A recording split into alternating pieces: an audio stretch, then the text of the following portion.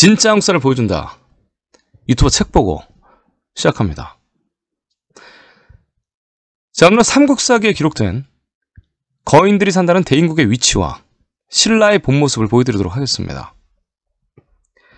자, 고려시대 김부식을 포함해서 12명의 역사학자들이 고려 황제의 명으로 완성한 우리의 정통사서 삼국사기는 고구려본기, 백제본기, 신라본기, 그리고 이 세 국가의 지리, 관직, 주요 장수편을 다룬 총 4가지의 큰 구성으로 지필이 되어 있습니다. 가야는 일현 스님이 기록한 불교를 홍보하려고 만든 우리 역사 삼국유사에 부분적으로 기록되어 있습니다. 자, 그토록 한국 사학계가 감추고 싶은 삼국사기의 내용들 제 채널을 통해서 추후에 계속 해석해 드리도록 하겠습니다. 자, 삼국사기 지리편 신라의 강역 설명. 자, 신라는 그 영토 기록이 옛 책마다 서로 다르다. 당나라 시대 두라는 사람이 쓴 통전이라는 책에는 신라는 원래 진안의 종족이며 백제 고구려의 동남쪽에 동남쪽에 존재하며 동쪽에는 큰 바다가 있다. 라고 적어놨다.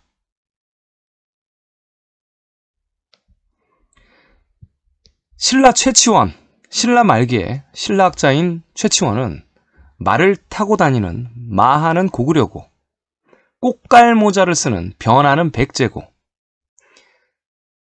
진안의 유민, 진안은 즉 신라다 라고 하였다. 이는 사실과 같다.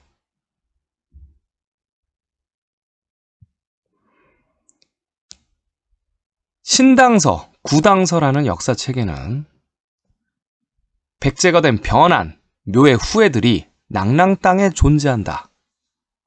라고 했으며 신당서에는 신라 동쪽에는 키가 석장이나 큰 사람들이 있는데 날카로운 이빨과 손톱으로 사람도 잡아먹는다. 그래서 신라는 소뿔로 만든 활을 지닌 군사 수천 명을 항상 주둔시켰다. 이는 전에만 오는 이야기로 실제 책에 기록되는 것은 아니다.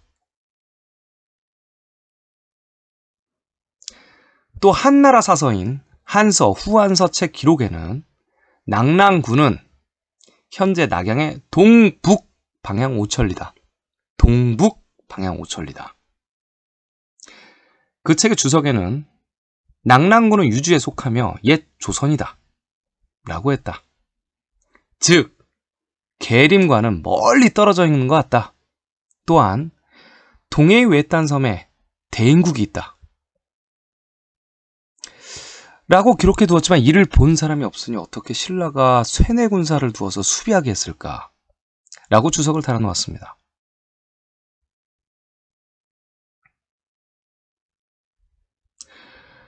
자, 삼국사기에 기록된 67개의 일식 기록을 과학 장비로 분석을 해보니 신라는 고구려 백제가 존재할 때까지 양자강 유역으로 집중 수도가 나오며 신라 말기에는 한반도까지 어우르는 대국으로 기록됩니다. 그렇다면 신라 일식의 중심지, 자, 양자강, 사서의 기록과 함께 그 비밀을 밝혀보겠습니다. 일명 김가장촌이다.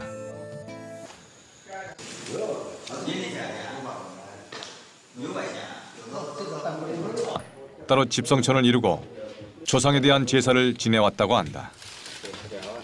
然而，我们从始祖一世祖到我们今天八十九代世系 世系，金氏家属的后来后裔世系， 이목민의 혈통과 초원으로의 회귀 본능을 가슴속에 간직한 채 살아가는 흉노의 후예들. 一世祖 고대 흉노 제국의 흔적을 찾는 것은 낙랑군의 위치. 자, 낙랑이 있었던 곳. 낙양의 음차. 이 근처의 낙랑군. 낙랑군이 점령되고 후에 다시 만들어진 낙랑군. 즐거운 락, 물결랑, 물결이 있는 곳에 반드시 있어야 되는 낙랑군. 진안의 유민들은 황하를 타고 그 아래 흐르는 회수를 타고 양자강을 타고 뿔뿔이 흩어졌습니다. 옛날에 진나라의 땅을 빼앗은 변한, 즉 백제가 차지한 요서의 진평 2군. 자, 백제는 황하의 남쪽 하남 위례성을 수도로 하고 북경은 고구려 국내성이 존재했습니다. 낙랑군이 있었던 곳에서 점차점차 아래로 내려오던 진안의 유민들. 양장에 흐르는 곳. 신라. 계림의 중심지. 이 위치에는 현재 너무나 많은 신라의 지역명들과 유적, 유물들이 넘치고 있습니다. 현재 중국 자체에서도 크게 홍보를 하고 있는 장보고의 땅 적산 법화원, 청해진이 있는 곳, 지장보살 김교각, 최치원 사원, 너무나 많은 신라의 지명들이 넘쳐나고 있습니다. 늘 흔했던 물소. 그래서 쇠뇌를 만들어서 사용하던 신라. 자, 물소의 위치는 양자강 아래쪽에 존재합니다. 변홍사와 또 물소가 흔했던 신라. 조선시대에는 이 쇠뇌를 보급하려다가 실패를 했습니다. 물소를 키우는데 실패한 이성계의 조선시대. 하지만 신라에는 쇠뇌가 넘쳐났습니다. 몇십 년 전까지의 지도를 보면 동해는 현재의 동중국해라고 기록이 되어 있습니다. 늘 동해라고 기록된 그곳에 존재했던 신라의 본토. 삼국사기 신라 본기 755년에는 알록산의 난으로 당나라의 왕 현종이 사천성 성도에 피난을 가게 됩니다. 망해버린 당나라. 자, 신라는 절강성에서 출발해 성도에 도착했다고 기록이 되어 있습니다. 자, 신라 일식의 중심지, 신라 절강성에서 양자강을 타고 도착할 수 있는 곳, 당나라 현종이 숨어 있던 곳, 사천성, 성도.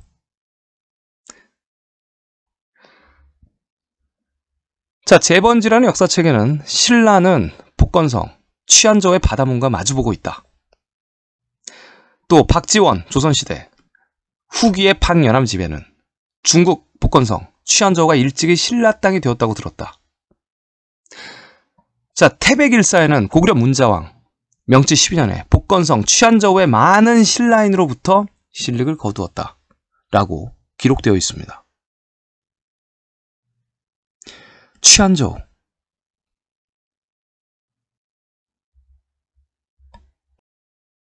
당나라 사서에는 동의에는 다섯 개의 국가가 있는데 고구려 백제 신라와 외국 일본이 있다라고 기록되어 있습니다. 자, 외국과 일본을 다른 국가로 기록해둔 당나라 사서. 자, 외 집중 일식 기록 관측지는 현재 중국 동남부와 타이완을 포함한 지역에서 나타납니다. 일본의 일식 기록 관측지는 현재 일본 열도로 나옵니다. 백제가 패망한 후에 건국한 일본이란 국가.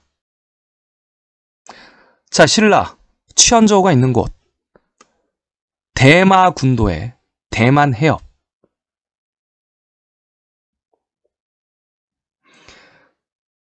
자, 신라의 일식 기록이 관측되는 양자관과 신라가 확장됐을 때 동신라로 불렸던 한반도, 그리고 취안저우와 신라 해초 스님이 왕호 천축 국전을 쓰려고 출발했다는 신라의 광저우.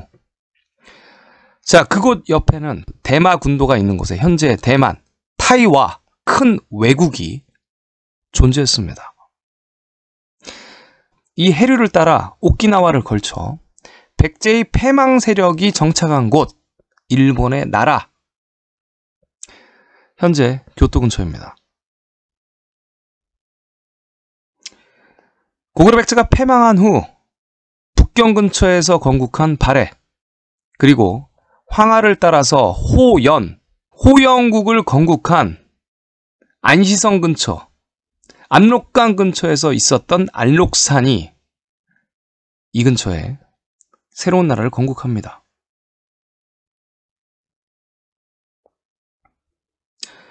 삼국사기 지리편 신라 강역 처음 박혁거세 때 왕성을 쌓아 금성이라고 불렀다. 신라 파사왕 22년에 금성의 동남쪽에 금성의 동남쪽에 성을 쌓아 월성 혹은 재성이라고 불렀는데 둘레가 1023보였다.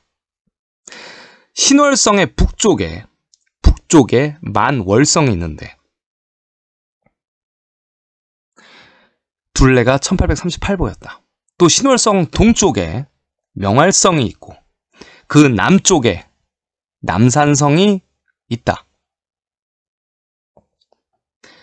박혁것의 시조 이래로 금성에 계속 거쳐 하다가 후세에 이르러서는 궁궐을 양쪽 월성에 많이 거쳐하였다. 자, 신라의 왕궁입니다. 왕궁의 이름 금성, 월성, 만월성, 명활성, 남산성.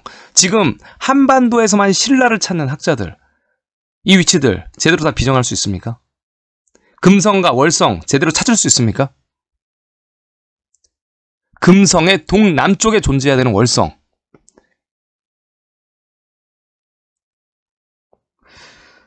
자, 그렇다면 신라 취안저우, 그리고 신라 양자강, 그 동쪽, 동해, 동해 외딴섬에 대인국이 있다. 자, 이 대인국의 위치를 찾아보겠습니다.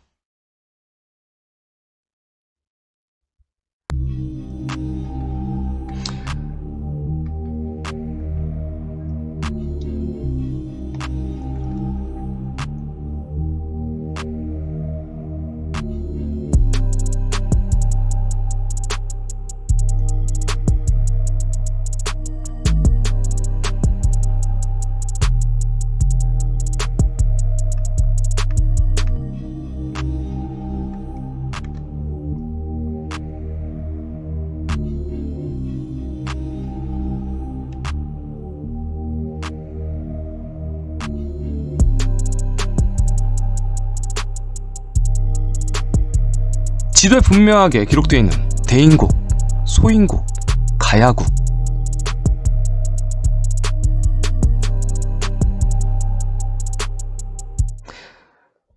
역사서의 기록과 지도의 기록이 일치하고 있는 그곳. 자, 신라 취안저우와 광저우 중간에서 대인국과 소인국의 위치가 존재해야 합니다. 자, 찾아보면 대인을 찾아보면 이렇게나 많습니다. 자, 여기서 복건성, 광동, 광서성을 찾아보겠습니다. 자, 대인포, 대인들의 나루터, 대인묘, 사당, 묘지, 대인산, 대인의 산 정상, 대인의 마을, 그리고 대인궁묘, 대인의 왕궁이 있던 곳의 사당, 대인궁묘.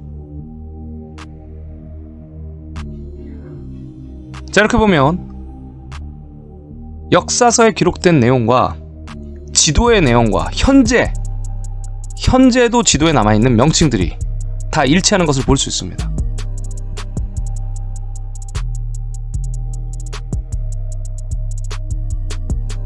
신라가 쇠내 군사를 두어 늘 지키던 그곳 군사 수천 명을 항상 주둔시켰다. 자 이번엔 소인국을 찾아보겠습니다.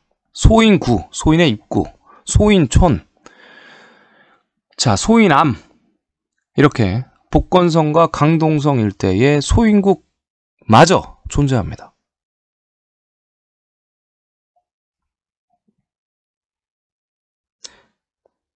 과학 일식 기록, 역사책, 유적 유물, 현재 지도의 지역명들이 모두 일치하는 신라의 강역. 삼국유사에 기록된 신라를 괴롭히던 주변의 아홉 개의 국가들. 한반도에만 신라가 있었다면 성립하지 않는 그 적대국들.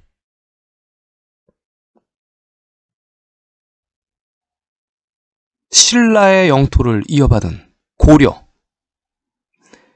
고려의 영토를 나눠 가졌던 명나라와 조선.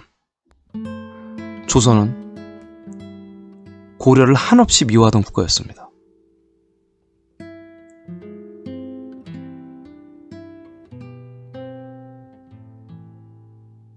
나라를 잃은 민족은 찬란했던 역사가 제일 먼저 사라진다. 제일 먼저 사라진다. 왜곡된 역사책으로 우리의 남은 영토마저 노리는 주변국들. 우리는 신라와 고려의 역사가 함께 숨쉬고 있는 이 한반도 땅에 있는 역사 계승의 장자입니다. 이제는 올바른 주체적인 역사 해석으로 주변국들에게 저항하고 반격해야 될 때입니다.